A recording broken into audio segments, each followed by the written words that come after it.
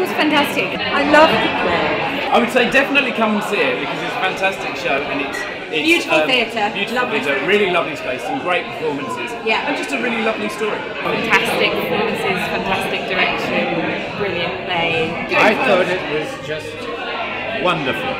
witty, it's moving, it's a little head scratcher in a really satisfying way. I mean, it was wonderful. I loved it.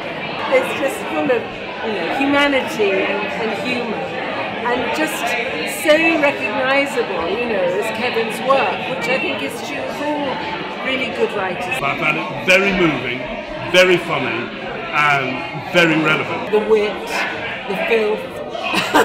The heartbreaking performances. It sort of reminded me of my Night of Reg. Wouldn't have missed it for the world.